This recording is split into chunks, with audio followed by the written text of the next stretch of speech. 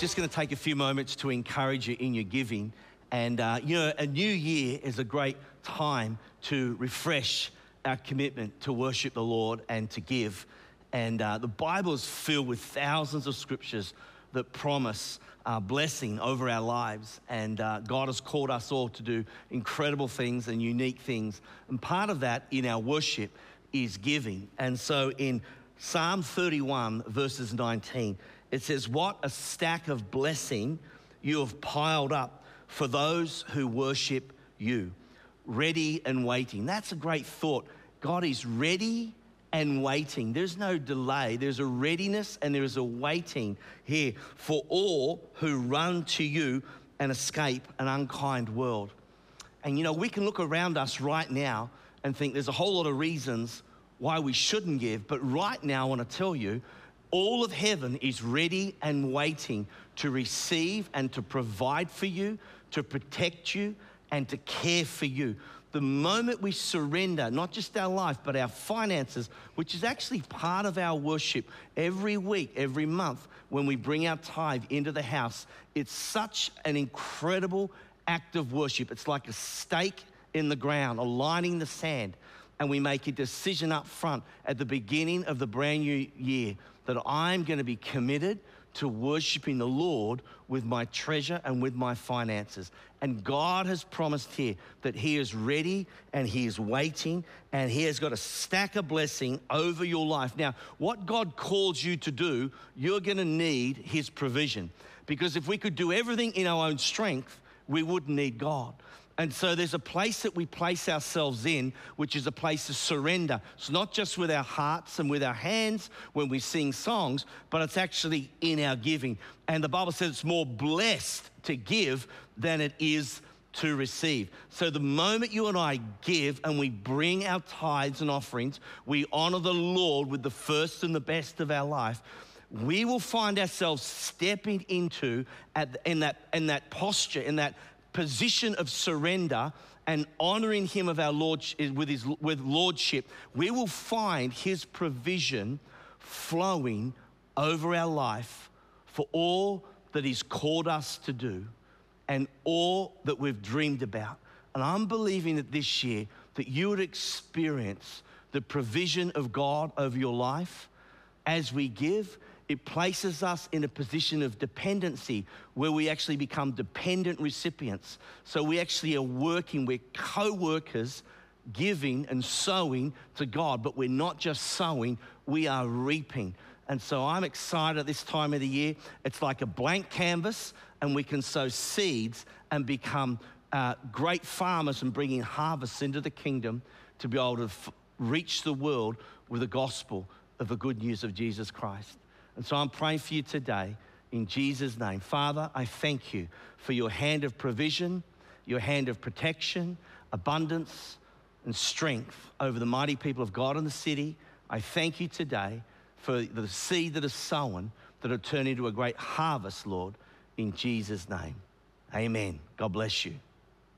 Let's just take a few minutes to worship God and uh, sing one more song before we come around the Word of God. So uh, if you're at home, maybe you can stand up and turn it right up and uh, enjoy the worship. And uh, let's get our hearts ready to receive as we come around the Word and worship.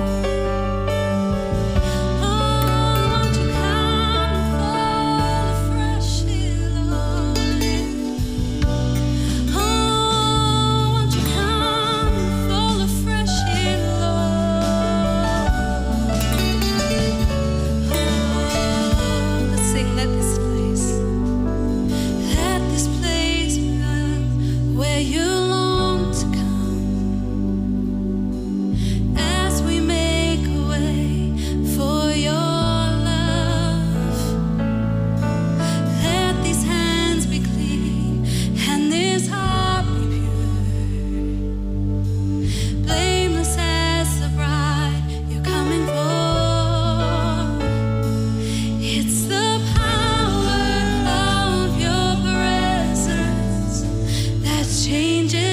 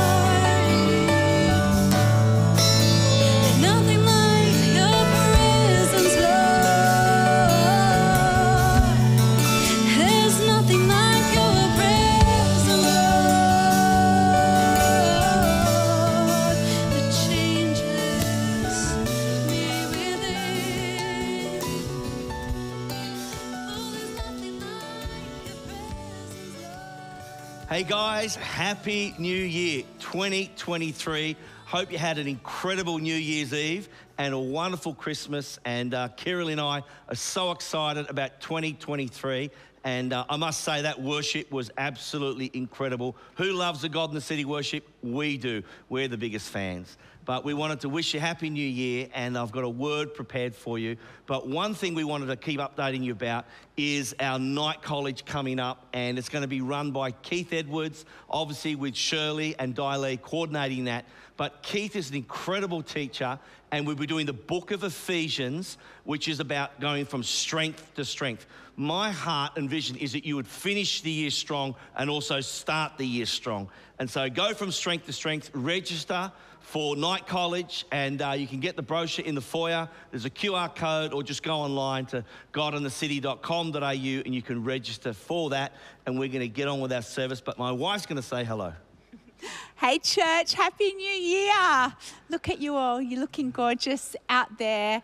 We just want to pray just the richest blessings over you as you step into this new year, that it would be a time of answered prayer, a time of dreams coming alive, a, tri- a time of you really stepping into God's promises over your life. We will miss you over the next three months when Tim and I are on sabbatical. It'll You go will- really fast, it'll be fine. You will be greatly missed, and we know you're in great hands with Pastor Keith and Janet Edwards, and we're re- we really look forward to hearing some great reports of all that's been happening in the church. And we will see you after Easter, and it'll be a great joy. It to is going to be connect again. exciting. And you are also supported by our great pastoral team and our staff, and obviously all our amazing department heads. And if you've got any questions, shoot us an email info at godinthecity.com.au, and someone who is absolutely beautiful and amazing will reply and help you with any requests. If you're visiting today online and it's your first time with us, we'd like to say a big hello and welcome, and uh, we'd love to get to know you and help you grow in Christ. And uh, today, at the end of the message, I'm going to be praying for people uh, to receive Christ as well. So you're in for a treat with Keith and Janet. They are the cream of the crop, the best of the best, and uh, we're really excited. I wish I was here to be sitting under their teaching and ministry. These guys are unbelievable. So we're praying the blessing of God upon them. We're praying for you over your family, over your marriages, over your finances and businesses, and over your children, that all your journeys and all your travels on holidays to and from would be safe and filled with fun and laughter. And I'm praying this year, in the next few weeks, where we reflect and have time to be refreshed, that you would be refreshed and revived and take some time to wait upon the Lord. So let me pray for you. Father, we thank you today for the mighty people of God in the city. We thank you for their faithfulness, Lord, to give and to serve and to lead and to be the church, Lord, to arise and shine. We pray for your hand of protection, your hand of blessing, and I declare the peace of God upon their lives. Right now, we pray, let your presence and your peace fall upon them right now today as we come around the word of God. In Jesus' name, amen. Let's look into the word. Hey, God in the city, happy new year 2023. Well, what a privilege and honor it is to be speaking to you all today online. Thanks for joining in. And uh, as you know, Kirrily and I are on a three month sabbatical, and uh, this is the last message you'll hear from me for a while. But I felt to record this message and uh, broadcast it on this day because a brand new year, God has put a line in the sand and we're stepping into a brand new day. We're excited about the year ahead and we're going to come around the word and we're praying you had a great Christmas and uh, you're not too comatose with too much food and uh, festivities, but it's a wonderful time of the year to reflect and get refreshed. And it's a time to breathe, which is the name of our series that we're entering into for all of January. And you're going to be in for an amazing treat with Pastors Keith and Janet Edwards, who are going to be overseeing our church in our absence. And uh, they are just the most incredible pastors, wonderful teaching and leadership gift, and you're going to enjoy them. And uh, I know that our staff and our team and our leaders and all of you are just going to do the most phenomenal job continue to be planted and flourishing and getting ready for a great year ahead. Let me pray for you about the days ahead and the season we're in. Father, we just thank you today, Lord, that you are with us. We thank you for your hand of protection and uh, uh, covering and provision over this house. And over the mighty people of God in the city. We thank you, Lord, that you would guide us as we plan our year, as we dream dreams and write goals down, that your hand would guide and the Holy Spirit would be with us. And we thank you for your presence over all that we do. Lord, as we slow down, as we take time to catch our breath and refresh and revive, in Jesus' name, bless the mighty people of God in the city today. And everybody said, Amen. And a big welcome also for those who are visiting. Maybe you're new to town. We look forward to getting to know you, and you're going to enjoy our service today. And so it is exciting. I thought Isaiah 60 was an appropriate scripture for us to actually have a look at because it's a prophetic scripture. And uh, often we sit at the time of a new year and we think, well, what's going to happen this year? It's a, it's a clean piece of paper, it's a blank sheet, it's a blank canvas, as they say. But I believe that we need the prophetic to lead us and guide us, and none better than the prince of prophets himself, Isaiah. In chapter 60, he says, Arise and shine, for your light has come, and the glory of the Lord it rises upon you. What's going to happen to you this year is you're going to rise and shine, and the glory of the Lord is going to come upon you. Now, the reality says that there is darkness over the earth and thick darkness over the people, but the Lord, you can say that, but the Lord arises on his people, and his glory appears over you. What a great vision for your and my life and your family and your children and all that you do, that the glory of the Lord is going to rise upon you this year. The glory of the Lord is going to fall in this house. The presence of the Lord is going to be so thick, it's going to break strongholds. It's going to heal the sick. It's going to bind up the brokenhearted. It's going to deliver the oppressed. It's going to bring freedom and breakthrough and provision, salvation. I'm telling you, the glory of the Lord is going to fall upon you. When the presence of the Lord falls upon you and I, everything changes.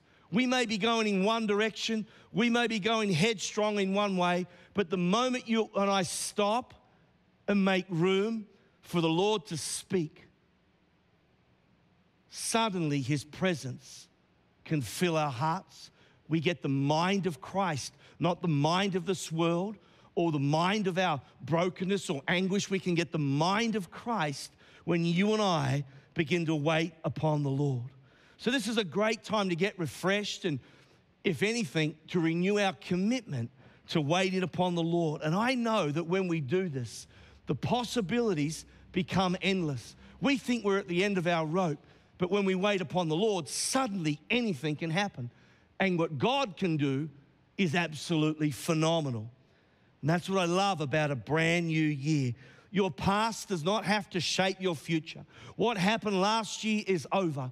There's a line in the sand. He's calling you and I. I prophesy that over your life to arise and shine. Put that line in the sand. Let 2022 go and step into 2023 with a great sense of assurance of the presence of the Lord going with you.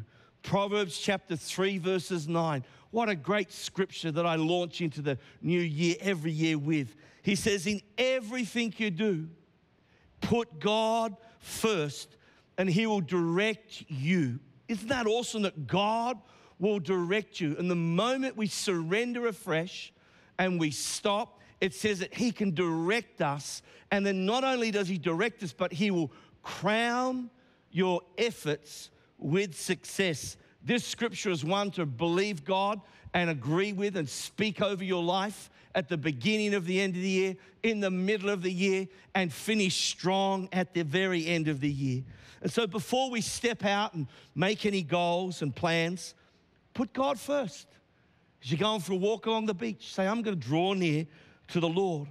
I'm going to surrender afresh right now. I'm going to stop from all this striving. I'm going to stop worrying and being anxious. I'm not going to be an anxious presence. I'm going to be filled with His presence. I'm not going to worry and doubt anymore.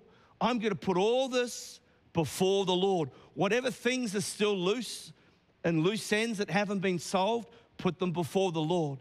God can do far more with what you give Him than what you and I try to do on our own. And the moment we surrender, we will find ourselves blessed because God can catch up with us. Because often we get ahead of the Lord. We're running too fast. We might have been working too hard. And it's time for you to take a rest. And so Proverbs 16, verses 3, in the message version says it so good. Put God in charge of your work. Then what you've planned will take place. So there's a theme here. Give God your plans. Pastor Phil writes in his book Give God your plans, give them to the Lord. Let Him mess with them, let, his, let Him guide them. Follow His guidance. He'll speak to your heart. You'll know what to do and you'll know not what to do. Follow His guidance, even if it isn't the way that you expected. God will eventually fulfill your desires of your heart when you surrender to Him. When Jesus saw weary people, He didn't offer them a holiday or a break from working. He actually called them to Him. So we can have all the holidays in the world. I'm not saying holidays are bad, holidays are awesome. You need holidays to refresh your soul.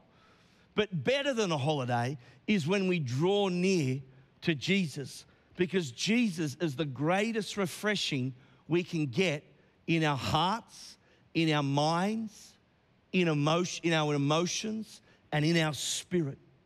He called them to himself to be refreshed, and they discovered a rest that money or an expensive holiday could never buy. In Matthew chapter 11, 28, he says this Come to me, all you who are weary and burdened, and I will give you rest. The promise of rest, not if or but, the promise of rest is to those that come to the Lord. And he says, Take my yoke upon you. Learn from me. What yoke are you carrying? Are you carrying a, a yoke of condemnation or a performance based mentality where how you perform determines how you feel about yourself? Are you carrying a performance mentality that what people say or have said about you?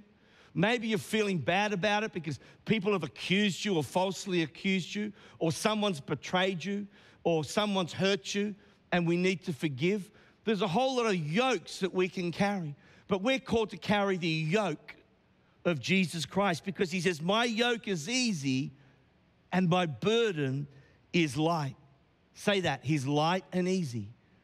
So when you stop racing, you stop running, you stop worrying, you stop depressing, whatever's happening, he says, Stop, surrender, draw near to me, and you'll find that my yoke is easy and my burden is light. The message version says it so well. He says, Are you tired? Yes. God can handle your reality. Are you worn out? Burn out on a religion? Come away with me. Get away with me and you'll recover your life. I'll show you how to take a real rest. And then he says, I'll show you how to take it. Walk with me, work with me. Take my yoke upon you. Watch how I do it. Learn the unforced rhythm, rhythms of grace. I won't lay anything heavy on you or ill fitting. Keep company with me, and you'll learn to live lightly and freely. I really believe in this season we need to take time to just hang out with the Lord. We refresh and recover by waiting on the Lord. We live in a high, highly stressed world, I would say, and there's thousands of options of what you can do every day, every month, every week, even in our careers. We have too much information that we don't need. I'm not sure it produces rest. We face pressures of living in cities with big demands on our time and on our emotions, on our money, on our minds, on our abilities. Yet Jesus is saying something so powerful here. See, his word pierces through the darkness. His word cuts through all the noise and the striving and the busyness of life. And he says, Put him first. surrender afresh, and you will discover. I love that word. Say discover. I'm going to discover peace, rest, and blessing. I prophesy that over your year that you will discover and you will launch from a place of peace, rest, and refreshing. It's going to happen, and blessing is going to fall upon your life. We're called to live light and free. Psalm 46 is another scripture, verses 10, that you and I can meditate on and give yourself to these scriptures. Read them, meditate on them, write them down, pray them, shout them from the mountaintops or walking along the beach. He says, Be still. Be still and know that I am God. We could be filled with all these other things that we know, but do we know that God is God? And I will be exalted among the nations, and I will be exalted in the earth. God will be exalted over our city, over this season, over the nations, over your life, over your connect group, over all that you do. The moment you are still and wait upon the Lord. Another version says in the message, Be quiet and know that I'm God. Let go, relax, and know that I'm God. Stop fighting, stop striving, stop being anxious, stop gossiping, and know that I am God. See, the truth is, guys, that the moment we're relying on ourselves, we're not relying on God. When it all hinges on what has to happen or not happen, when it all is external, we don't make room for the internal of where God is. If it all hinges and relies on you, then we're not relying on the Lord. His power does not depend on your strength or ability or brains or degrees or perfection or success. His strength and his power falls on your weakness. It falls on you. When you and I fall on the rock of Christ, we find the strength and the secret to strength. And it's God who has the strength. When we let go, He takes it up. Did you hear that? When we let go, God takes up. As long as we're trying to do it all, He won't be because He's not in the driver's seat. This is a holiday season. This is a festive season. This is a brand new blank canvas and the beginning of a brand new year. Let's make room for the Lord in our hearts, in our minds, and in all of our plans. Let the Holy Spirit revive you. You know, I love the book of Hebrews, such a phenomenal book, and it's got all the heroes of the Bible, the heroes of faith. But the book Hebrews actually means to cross over. And I believe at this time of the year, there's a threshold that we need to cross over from the old into the new. Some of you need to cross over and let stuff go. Some of you might need to cross over and begin to come back and surrender to the Lord instead of burning yourself out, working so hard without any oil or any anointing.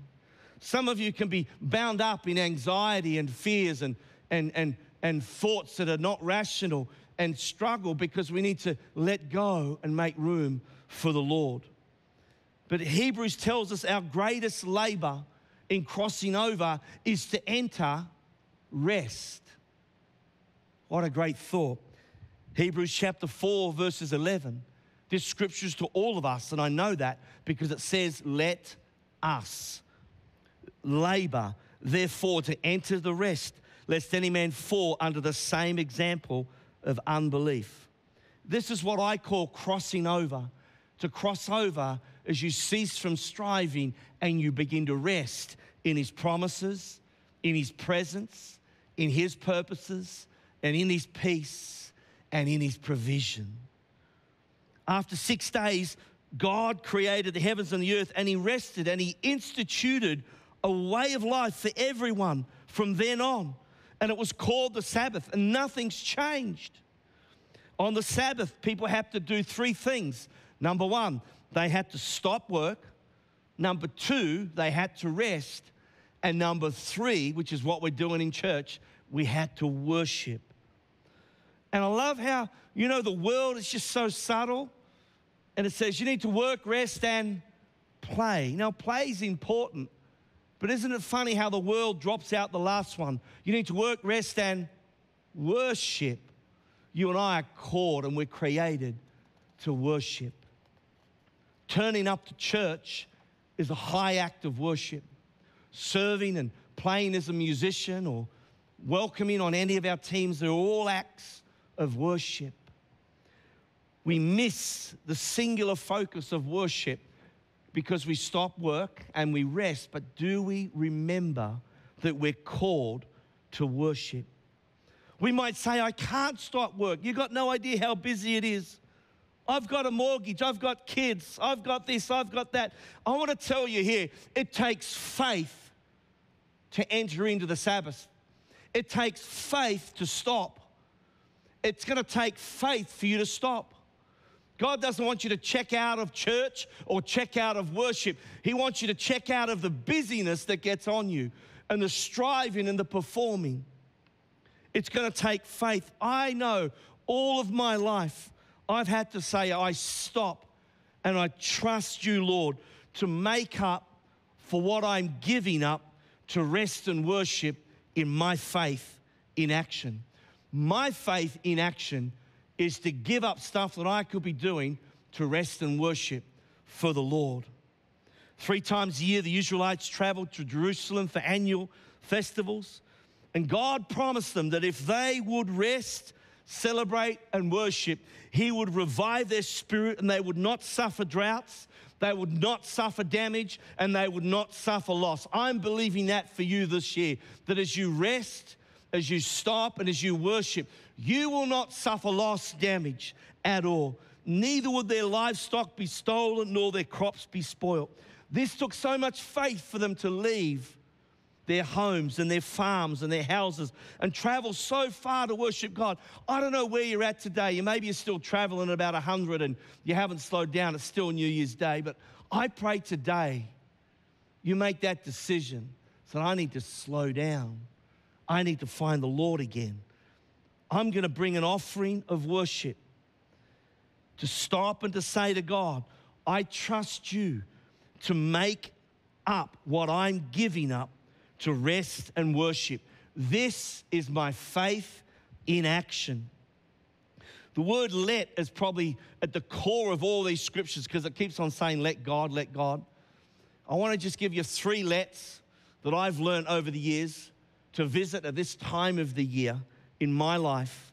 The first one is to let go, to release. The word let means to release, it means to allow or give permission to or to give room. And it's important that we make room. Starting January, go for walks, look up more, pray more, fast, wait upon Him, put some worship on, linger a little bit longer. Be in the house of God each week. Just wait. We're reducing our, our teams over this summer break to give our teams rest. But I'm praying, my heart as your pastor is that you'd be in the church, worshiping, waiting on the Lord, not busy with activity, but waiting on the Lord. Take a long drive, go out again, read, write, fellowship, worship, create, design, cook, run, swim, do something to make room for the Lord. And I'll tell you what, you're going to find the Lord in a place of rest. Galatians chapter 5, verses 25, it says, If we live by the Spirit, let us also walk or keep pace with the Spirit. See, walking with Jesus, hanging out, hanging out with Jesus, is going to attract the Holy Spirit over your life. You need to walk at His pace, not behind or in front, but hand in hand, arm in arm, side by side. We need to walk where Jesus is walking. If there's areas in your life where you're beginning to walk on a path and think God is not there, you know where it becomes dark. You know where you start losing his presence. You know where you start burning out. When you're walking where Jesus is not walking, stop that, find reverse, and put yourself back on the altar and launch into 2023 from a place of rest on the altar. We need to do the things that He's equipped us and empowered us to do. If we're doing things that are not our gift, life's going to be hard work. Doing more than we're called to do doesn't impress God as much as doing less than we're called to do. Some people are not doing what they're called to do. Some of you are doing more than what you've been called to do. You've got to find that balance. We're called to be eagle livers. And this is how that you and I catch our breath. It tells us in Isaiah 40, verses 28, it says, Have you not known? Have you not heard? The everlasting God, the Lord, the creator of all the heavens and the earth, neither faints nor is weary. His understanding, understanding is unsearchable. He gives power to the weak and those who have no might. He increases strength. Even young people shall, fail and be weary, and young men shall utterly fall. But those that wait on the Lord shall renew their strength. They'll mount up with wings like eagles. They shall run and not be weary, and they shall walk and not be faint. There's gears that you and I have to find in seasons of rest, worship, and refreshing. The first one is always let God arise, make room for the Lord. Psalm 68 says, Let God arise, let his enemies be scattered, and let those who hate him flee before him. Let God arise means give God time to move. God will take probably a bit longer than what you and I are normally expecting. Give God room in your schedule, in your week, in your concepts, in your finances, in your relationships. Let God arise. Sometimes that means increasing your solitude. So let God. Number two is let us. You're not in this alone. You're part of a body, you're part of a family, you're part of the house of God. And if you're new at God in the City, welcome to God in the City. We look forward to helping you connect in and find community and a sense of belonging. We have connect groups that do that, they're amazing. Let us, this is a big one. Psalm 122, verses 1. He says, I was glad when they said to me, Let us go to the house of the Lord. The moment you and I lose that joy and that front footed motivation to want to be in the house on Sunday, it's not because of what church is doing, it's something that's going on in our heart. Don't be blaming the church and pulling down the house of the Lord or, or sitting there critiquing and, and, and, and, and having all this stuff to say, oh, this church, this. Hey, guys, it's about your and my heart. Keeping our heart right. And if our heart has grown cold, we need to draw aside with the Lord. We don't cut off relationships. The moment you and I feel like pulling out is actually the time we're called to push in into a place of fellowship. It says, Let us arise. It's so powerful. We're called to belong and become together. Life is easier when it's shared, when we open up, we get vulnerable and transparent. You don't have to be Rambo all on your own. Jesus made sure he had a team. If you're a disciple, you're a person who's on a team. If you're a disciple, you're planted in the house in a set of relationships. If you're a disciple, you're not going through all this all by yourself. You have great friends around you elders, connect group leaders, pastors, and leaders who are praying for you. They're walking with you. You are never alone. The moment you isolate is the moment you start to get cut off. You'll start to get offended. You'll start to get critical. You'll start to go from being on the front foot to the back foot. The first thing that's going to go is your worship. The next thing that's going to go is your giving. The next thing that's going to go is your heart. God wants you to revive and take a breath in your heart. Hebrews chapter 6, verses 1, it says, Let us go on to completion. We're called to go on, we're called to progress, but we're called to do it together. I pray that over this season, these will be great times to have some great lunches and dinners with friends and family, and uh, long picnics and long walks. And so important that you and I make time to hang out with believers and disciples and have a great time together. And the third one is to let go. Come on, church. You and I have got things that we carried in 2022. Some of us have got things that we carried in 20 and 2021, and we're not meant to carry it. You're not built to carry it. We're called to let go. Say that, let go. It says, Be still, let go, relax, Psalm 46:10, and know I'm God. Let go of the past. Forget the former things. Behold, God's going to do a new thing. You won't see the new thing until you let go of the old.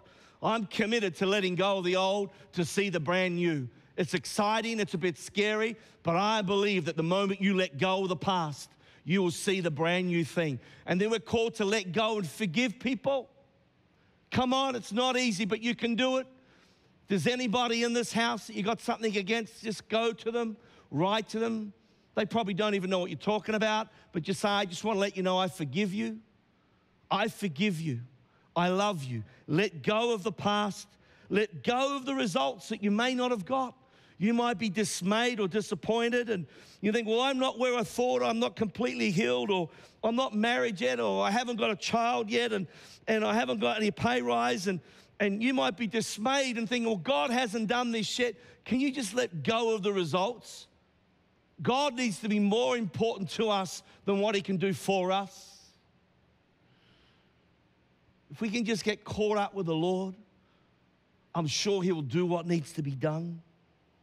Let go of your worries. We're called to cast all your cares upon the Lord. Why? Because He cares for you. We're called to cast all, A double L, all your cares. This is a bit of a violent thing, you know. It's an aggressive term, it's not passive. You can't be passive, people. You need to cast those cares upon the Lord. It means to throw off a coat in readiness for war. We need to be ruthless and aggressive in, in get ridding ourselves of cares of this world. See, it's the cares of the world that are going to choke the promise of the seed. Some of you have got promises in you, you've got seed in you, they're prophecies, they're revelations, they're scriptures have jumped out at you at night school and connect group and for your great pastors and leaders that have helped you, and you've had scripture unfolded to you, and you're praying about that scripture, you're giving yourself to that scripture, you're standing on that scripture, you're confessing that scripture, but your worry is choking the scripture. And you think, I'm doing everything, but are you probably worrying? And you're worrying the life out of the scripture. Stop worrying. Let it go. Let God arise. Corrie ten Boom writes this Worry does not empty tomorrow of its sorrow, it empties today of its strength. And if you find that you're always exhausted, maybe it's because you're worrying too much. Maybe you're in the driver's seat too much and you need to let go.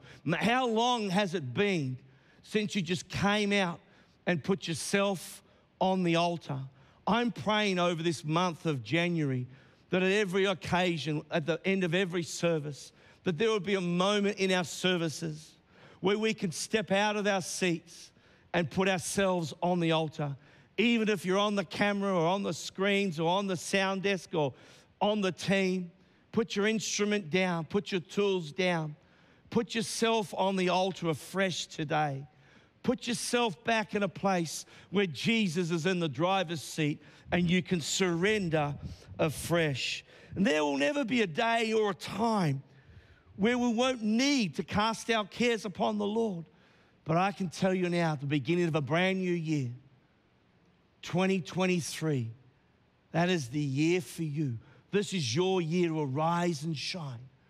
And the glory of the Lord is going to rise on you. Don't you worry about the darkness of the world. The hand of the Lord is upon your life, young person. The hand of the Lord is upon you, young married couple, young family, mum and dad. The hand of the Lord is upon you, person that feels lost and, and distressed. If you're away from the Lord, I want to tell you the hand of the Lord is coming to meet with you today. If you're here this morning and you do not know the Lord, if you've never taken that first step, what a great year to start what a great way to start a brand new year. Your new year in 2023 does not have to be like your previous years. Your past has no power to dictate and direct your future. The moment you surrender to Christ, Jesus Christ will come into your world, and that is beginning of when it all changes. Some of us have anxieties and they're damaging our emotions. I want to encourage you to bring those and put them on the altar. You're not designed to carry those burdens. If you don't give them to the Lord, you'll be carrying them alone. God takes whatever we give Him. If I've cast all my cares upon the Lord, well, then I don't have them anymore. This is the casting off of cares and the worries of the world that come to choke the promise of the seed. And the seed can overcome everything you face, every impossible circumstance. There is not a care that you should not cast upon the Lord. And the Bible says that He is there for you. He is the one who can bring a perfect solution. He can turn your life around. Young man, young woman, anyone who's here or watching, if you're away from the Lord, if you're facing things that feel like they're just over the top, if you're exhausted and worn out and burnt out, this is not a time to run. This is a time to stop and place yourself on the altar afresh. But I want to ask you here this morning if you're watching today, for whatever reason, maybe you're away from the Lord, maybe you've never prayed a prayer that surrenders your life to Jesus Christ. And you've tried everything looking for peace, looking for rest. You've worshiped a whole lot of things, but you've never made a decision to worship Jesus Christ. You've never prayed that prayer to make Jesus your Lord and Savior. The Bible tells us that He says, Behold, He knocks on the door of our heart. He stands at the door and He knocks. And He says, He who opens the door, He says, I will come in and be with Him. I will sup with you. He will come into your world the moment you and I lift our hand and surrender. So if that's you here today, if you've never prayed a prayer that says yes to Jesus Christ, right now I want you to make that decision. If you're away from the Lord and you know you need to come back, you think, man, the life I'm living is not right. I need to get right with the Lord. I've been running my own game, wearing myself out, looking for love in all the wrong places, wherever. I'm not here to judge, but I'm telling you, the truth is, Jesus is the way. He is the truth, and He's the life that you're looking for. If that's you, if you're away from the Lord, you need to come back. You need to pray this prayer. Or if you're watching this morning and you're not sure of your salvation, you got condemnation, you have uncertainty about where you're going to spend eternity. The Holy Spirit, I'm praying, is going to reach into your world, wherever you're watching today. You're watching at home, maybe in your lounge room, your bedroom, in your car, down the beach. Wherever you are, the Holy Spirit is going to come and visit you. He's going to help you get back on your feet. He's going to help you find a great church like God in the City in Darlinghurst. And He's going to put great people around you to revive you and refresh you. I feel I'm talking to people who have also been in church for a long time, and for whatever reason, you're exhausted. But there's an exchange you have to make. It's not an external change, there's a heart internal change. There's a fresh surrendering on the altar. So I want to lead you in this prayer, no matter whether you've been saved for years or you're away from the Lord. Right here this morning, I want you to say this prayer. Say, Dear Jesus, come on, Dear Jesus, I come to you today and I surrender my life to you afresh. I ask you to forgive me of all my sins. Help me follow you. I receive you as my Lord and my Savior. From now on, I'm going to follow you. I renounce the devil and all his ways. And in Jesus' name, I'm saved, I'm forgiven, and I'm all yours. Amen. If you prayed that prayer with us today, we would love to help you grow in Christ and get in touch with you. And we'd love to hear from you. We'd love you to send us an email at info at godinthecity.com.au. That's info at godinthecity.com.au. Or you can join us at God in the City in Darlinghurst for our services. Just check us out online. 10 a.m. Sunday mornings. You're going to love it. You're going to love it. You're going to love it. I'm telling you, we can't wait to meet you. But I'm going to pray as we close our service. We're going to pray blessing over our church. As uh, my wife and I, from my family to yours, we wish you a happy new year. We're praying it's going to be a great season as Pastor Keith and Janet Edwards are going to do an absolute sterling job loving you, pastoring and leading. You're in for such a treat. We are so blessed to have them here ministering whilst Kirrily and I are on sabbatical for the next three months. And uh, I know you're just going to shine. It's time to rise and sign, church. Happy New Year. God bless you, Father. Let the peace of God, which passes all understanding, be upon this house. In Jesus' name, amen. God bless. Happy New Year. Have a great week. This is my song. This is my story. Although it looks rough, I give him.